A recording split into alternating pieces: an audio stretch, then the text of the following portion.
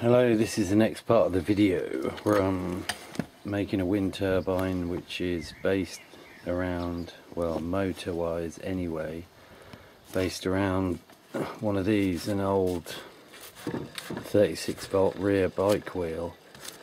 You know, it's got a motor, you can see there. It's got two wires coming out of it, which are the positive and negative. Sorry, sort my tripod out. So yeah, anyway, I'm just gonna hack all the spokes out. so hope it's not too savage.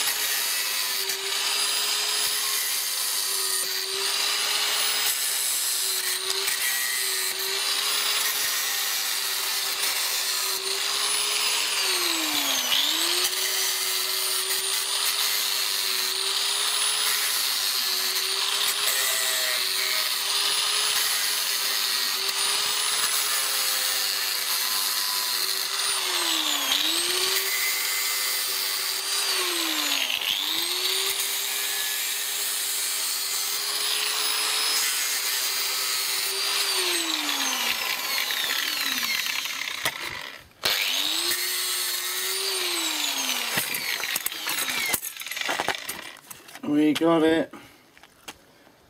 Don't need that.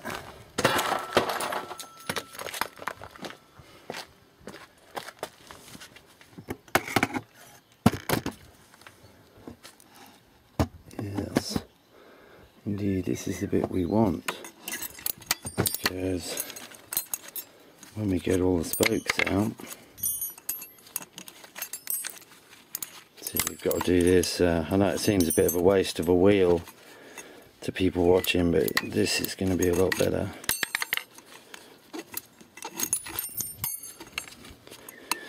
I've got an electric bike with a 48 volt motor, and anyway, this this motor was picked up really cheap, so instead of it just sitting there in my shed for months and months, possibly years, I thought I'd use it for this new wind turbine I am making.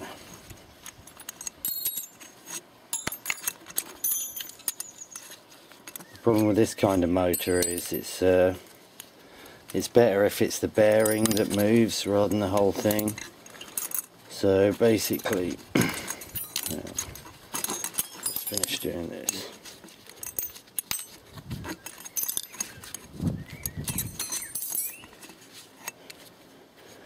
Yeah, maybe I could have salvaged the wheel if I wanted to take all the spokes off, but just wasn't really interested. I'll keep the tyre if it's any good.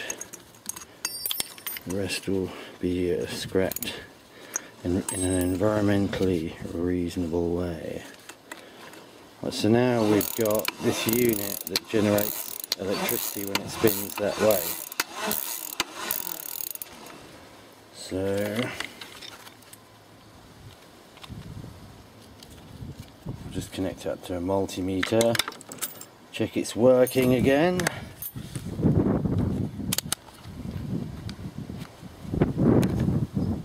With a multimeter by the way, uh, you may or may not know, it doesn't really matter if it gives a negative voltage, it just means the cables are on the wrong way around, just switch them. I need to mark these up which are negative and positive because they're blue and yellow. Yeah, so I've got the wires coming out there and I'm just going to crank it slowly by hand.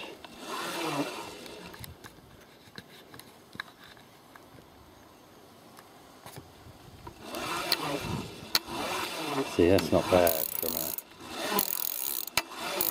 from a hand crank. This thing's going to be flying around on the wind turbine. See, the reason I wanted to use this is because I've got this top gear. It's going to be a dual rotor spindle type assembly, which you'll see in uh, one of the next videos. And basically, this is going to sit underneath the actual propeller shaft and this smallest gear here is going to be fed to a larger gear which is going to be on a central spindle then connected to the dual rotors.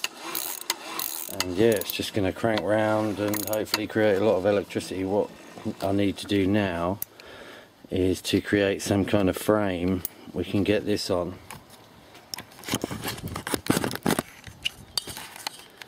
You can see here the spindle is kind of tapered or whatever they call it uh, so I need a frame for where this is going to sit longitudinally. And basically we shall the, the the prop shaft will be here and this will be like a gearbox stroke motor in one or half the gearbox in one because I've already got this. Uh, we have to make sure we mount it the right way and then we just uh, see I suppose it doesn't really matter because if we mount it the wrong way we can just swap the cables on this end as long as the uh, it's not spinning that way because that would be a complete waste there's no energy being created there. But this way when it's driven in a clockwise direction from the gear end it creates a charge as we can see and that's not bad because the problem might be the tiny wires we've got, which are pretty crap. So I don't fancy going inside the spindle end to have a play about with that because I tried before and things can get cocked up pretty quick. Come on base. Clench in there good, huh? Whoops.